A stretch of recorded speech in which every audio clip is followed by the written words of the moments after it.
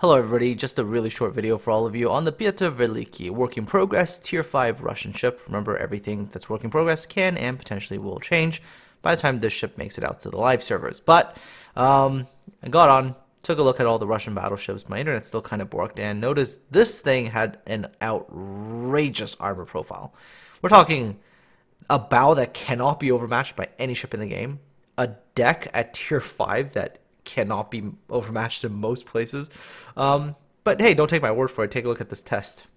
In uh, so uh, you know, all three Yamatos go for the bow. You know, try to go overmatch and open fire whenever you're ready. Hmm. That that's very balanced. The tier five What the fuck? Five ricochets.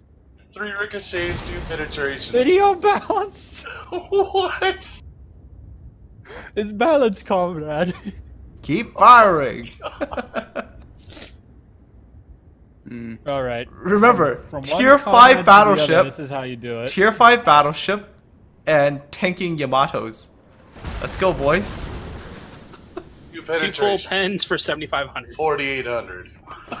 what the fuck? Hmm.